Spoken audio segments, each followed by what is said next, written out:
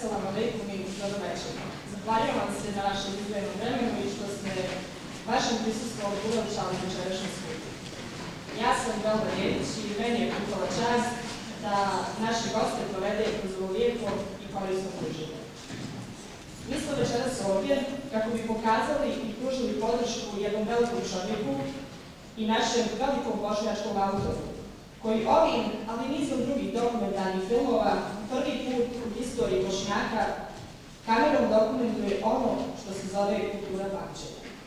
Sa nama su večeras direktorica BZK Preporod, gospođa Ana Sović.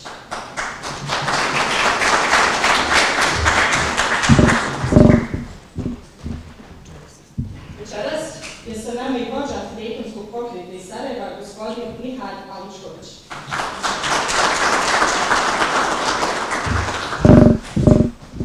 I sa posebnom čašću pozivam da nam se pridruži autor gospodin Avo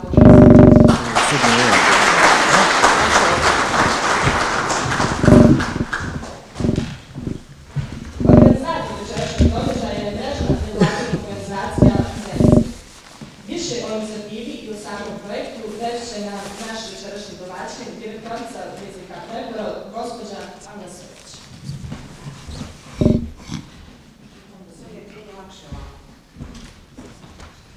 U ime vaše organizacije kulture Preporod, Assalamu alaikum i dobijači.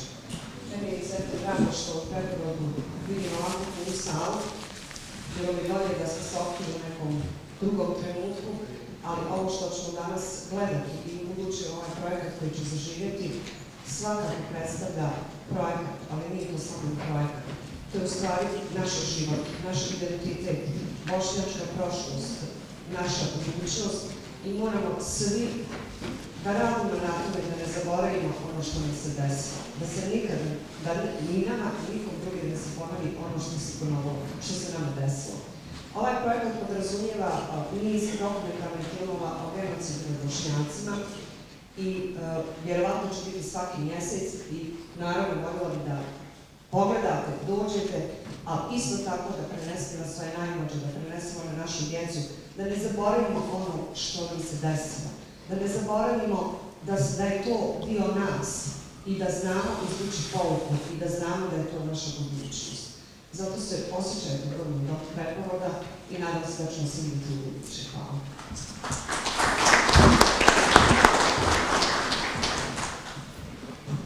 Dokumentarni film Bošnjaci i genocid u kontinuitetu rađen je pune tri godine.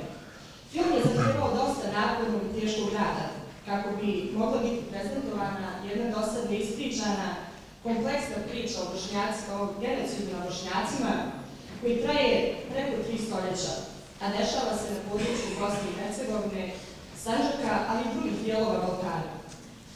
Više o filmu reći će nam ali i o samom autoru filma reći će nam gospodin Mihal Aličković ispred Antidejton pokreta iz. Dobro dana. Assalamu alaikum prije svega, poštovanje.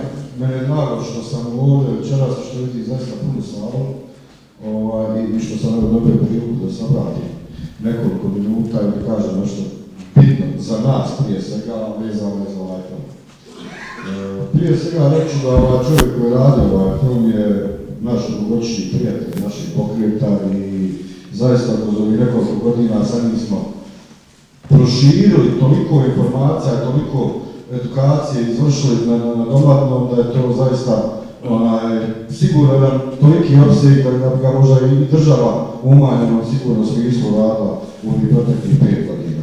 Ja sam ovdje zaista zahvalan jer čovjek kao što on koji je uradio evo, preko 17 dokumentarnih filmova za nekoliko koliko, 6, 7, 8 godina, ovaj, nijednom nije došao u situaciju da, da se može neko zaista u državi pohvaliti nečim sličnim. Nažalost, jer nažalost imamo samo jednog čovjeka takvog. Sad zamislite kako bi bilo kad bi Bosna Hercegovina imala zaista jedan, jedan spisak ljudi koji se bave sličnim tematikama i ovako detaljno i faktografski i, i, i, i, dokumentovano onako kako to ovako štabu. Zašto je ovaj film bitan koji ćete večeras gledati? Ovaj film govori zaista o, o 300 godina onoga što je bošnjački narod prošao. govori o onome što do sad nismo znali, govori o onome što nismo trebali da znamo i na kraju i na koncu svega toga ono što nismo smjeli da znamo. Govori dosta onoga o čemu su mnogi preživjeli, znali, a nisu smjeli da govori. Tako da će ovaj govoriti njihovo ime i govorit će vama ono što vi treba da znate, što treba da prenosite dalje i ono što vaša djeca trebaju da znaju. Na primjer, u ovom filmu i filmom prijetvornim ovaj, koje je autor radio, jako puno je dokumenta. Ništa nije urađeno na osnovu nekakvih pretpostavki priča ovaj, koji su neistinite i tako dalje. Jako puno aktera ovih filmova je doživjelo agresiju genocid na svojoj koži, ne samo u posljednje genocid, nego genocid na prijatelju. Da li kod vas zna ko je Ševal Tabaković? Rahmetli Ševal Tabaković. Ono crno dvije ruke u zraku, da li neko zna ko je Ševal Tabaković iz Višegrada? E, tu su dva čovjeka. Zašto se rodio Ševal? Ševal Tabaković, Rahmetli Ševal Tabaković, inače iz Višegrada. 42. godine tražili četnici, dobili su Ševala Tabakovića na most Mehmet Pašić Kolovića, zaklali ga i bacili ga u Drinu. Međutim, Allah je htio da Ševal Tabaković preživi, ispliva iz Drine, nastavi svoj život i nastavi svoj život u istom tom višegradu. Međutim, djeca i unuci tih traženih četnika 92. godine tražili su opet Ševala Tabakovića. I ovaj put su ga dobili isti most, ali mu prijetodno svezali ruke i bacili ga, zaklali ga i bacili ga za ispod tog mosta. Ovaj put nije. To dovoljno govori o tome da sigurno naši roditelji, sad navodi sebe kao neko koji je a možda i roditelji mojih roditelja, nisu znali za priču, na primjer, o Rahmetli Ševalu Tabakoviću. Nisu znali sigurno priču o Rahmetli Hasanu Tufekčiću, koji su četnici tokom 42. i ove 92. ubili ukupno 13 djece, dvije žene i dva muka. Nažalost, te priče ne znamo od prije. Dajte da se ne desi da sve nadolazeće generacije ne odrastaju, a da ne znaju bar za ovu posljednju žrtvu koju smo mi podijeli, koja mora biti posljednja. Mi ne smijemo dozvoliti zaista više pokušaj genocida na nama kamo neki novi genocid. Mi ne smijemo sebe dovesti u situaciju da spavamo i da dozvoljavamo da nas neko miluje kao tela po glavi, a stvari za klanje. Nije bitno koliko je stanje u državi pozitivno ili negativno, koliko se nešto razvija ili razvija, koliko je, koliko sve cvjeta ili ne cvjeta. Ali naša podsvijest mora biti, mora živjeti bukvalno genocid kroz koji smo prošli.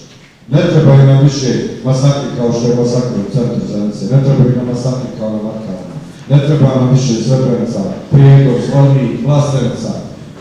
Ne treba nam da se bojimo ko će biti načelnik jednog grada u kojem je poplavno i bilo 8,5 muslimana u par dana.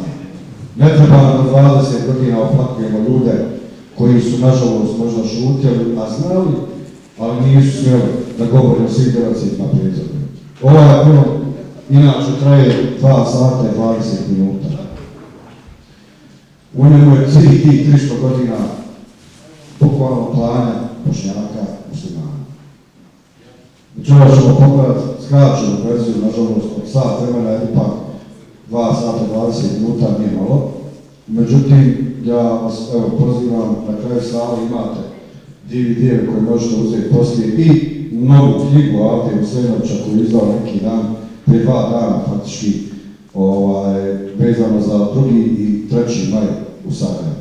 Početak agresije, na Sarajevo pokušaj osvajanja predsjedništva i gašenja našeg naroda na svaki mogući način, pa i oružanim, fizički, psihički, svaki drugi. Znači, ovo je samo sat, oko sat, sat, 20 minuta, i onda možete zamisliti što se nalazi s ovog filmu koji traje pa 2 sata, 20 minuta.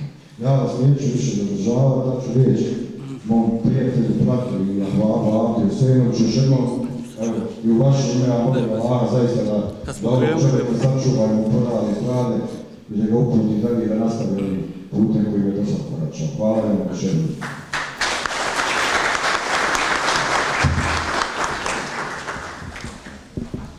I ja ću ustati, kažu da Nema. velikim ljudima i velikim djelima treba ostati na noge. Veliki ljudi su ispred mene, a mislim da i djelo je mahanje. Tako, drago mi da vas mogu srce sve posalamiti, zahvaliti organizatorima i svima vama koji ste odvojili svoje dragoceno vrijeme i večeras važan e, čas kulture pamćenja. Ništa nije slučajno, pa i ovo što, što je što su dvije sekunde uh, ove muzičke špice filma krenule, a, ove su nam šlagvort da kažemo kada sam, tri i pol godine sam radio ovaj dokumentarac i onda na- nakon prve premijere neki su me ljudi pitali a zašto si onako pustio one ogavne pjesme? Uh, možda je moglo i bez toga. U ovoj dužoj verziji od 2 sata, 20 minuta čućete 5-6 pjesama koji su stvari dokumenti gdje zločinci kroz pjesme priznaju da su stoljećima izvršavali genocid nad Bošnjacima. Pogledajte. Ja nisam sreo, pročitao sam mnogo u životu, istraživao. Nisam sreo ni kod jednog naroda da u pjesmi koristi termin ja mrzim. Najavna špica kaže ja sam rođen džeđamije, nema muslimane, mrzim od malena. Ili, ili pjesma iz drugog svjetskog rata. Mirno, mirno spava je hlato, svet je zaklato, samo mujo nije, visi kraj kape. Četnici Draže Mihajlovića su pjevali pjesme o genocidu nad Bošnjacima i te pjesme su se prenosile, te pjesme su naslijedili njihovi sinovi i unuci, oni isti koji su u periodu 92. 95. izvršili izvršili nastavu genocida. Neki istoričari znaju kazati da je to 11 genocida u stvari. Mi kroz ovaj film stalno zastupamo tezu da je to jedan genocid u kontinuitetu koji je krenuo krenuo krajem 17. stoljeća. I nažalost u određenim svojim elementima i dan dok mi sjedimo ovdje u ovoj sali, on se sprovodi. Većina istraživača će kazati da je negiranje genocida njegova posljednja faza. A mi smo svjedoci svih ovih godina da je to e, itekako prisutna pojava. O samom filmu mogli bi satima, danima pričati. E, Prešli smo hiljade kilometara, hiljade, hiljade sati sirovog materijala. Došli smo, zakoračili smo nogom, a to ćemo slikom prikazati u neka mjesta gdje Bošnjaka već preko jednog stoljeća nema, a gdje su bili većinski narod kroz istoriju. Posebno e, je ovdje e, fokus stavljen na 19. stoljeće i to, to su neke e, nepojemljive stvari, šta se to nama kroz istoriju desilo, a opet šokantnije s jedne strane da mi u stvari ništa o tome nismo znali i nažalost malo je onih koji dan danas o tome e, bilo šta e, znaju. Došli smo u Živce, došli smo u Kolaše, došli smo u Šahoviće između Bijelog polja i Pljevana, tamo gdje je prije 93 godine izvršen genocid nad Bošnjacima i to u vrijeme mira. Možda prvi i jedini genocid koji se desio u vrijeme kad se ratovi, kad se borbena dejstva nigdje nisu odvijala, a to je period kraljevne Srba, Hrvata i Slovenaca. Znači, Bošnjaci ni u vrijeme mira nisu bili pošteđeni izvršenja genocida sobom. E, mnogi Bošnjaci širom Bosne ne znaju da su stvari potomci žrtava Bošnjaka sa područja cijelog Balkana, nad kojim je izvršen genocid e, u 18. 19. posebno u 20. stoljeću. Tako da nekako kad sam došao negdje na pola realizacije filma, stalno su mi se e, po glavi motale dvije stvari. Prva, da li je uopće moguće da nakon jedne ovakve katastrofe jedan narod postoji. Mnogo veći narodi su nestali sa scene koji su, koji su u svojoj istoriji imali puno, puno manji tih, manji broj genocidnih pogoda. I, druga, druga, druga teza koja, koja je dan danas onako uh, proganja jeste da u mislim da nema Bošnjaka koji nije bio žrtva genocida ili da nije potomak neke od žrtava genocida kroz historiju. E, to je ono što, što, sam imao kada o, filmu Bošnjaci na kontinuitetu, to se projekcije možda i razmijenimo koju, koju rečenicu o svemu.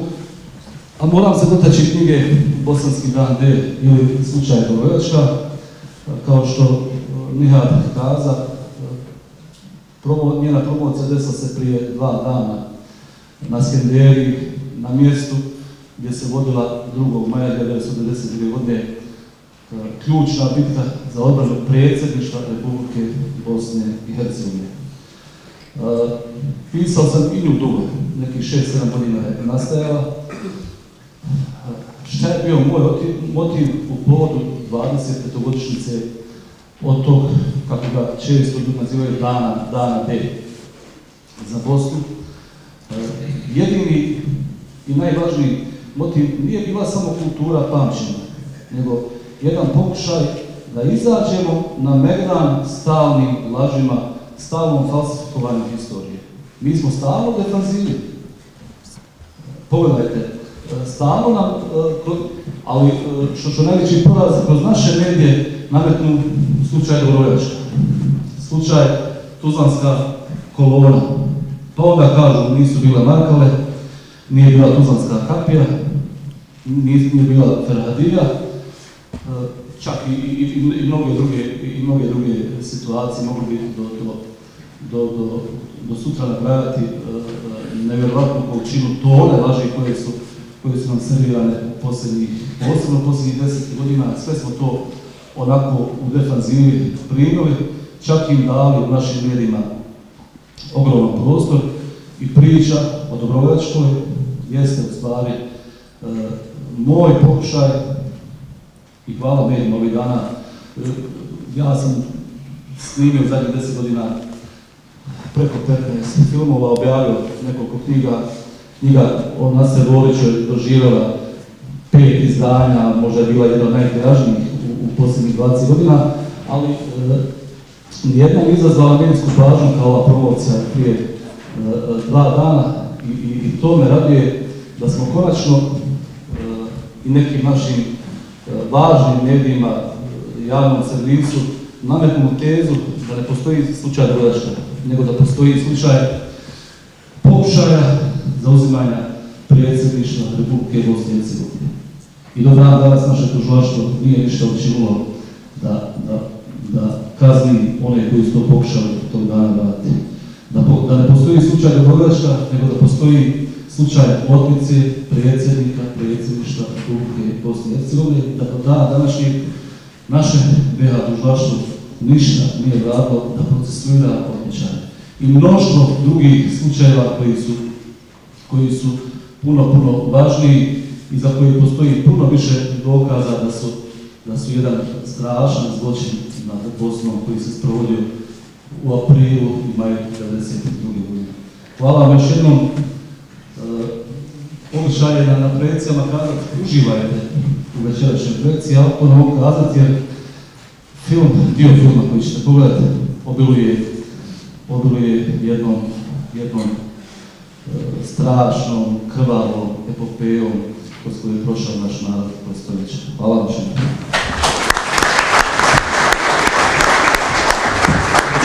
slično.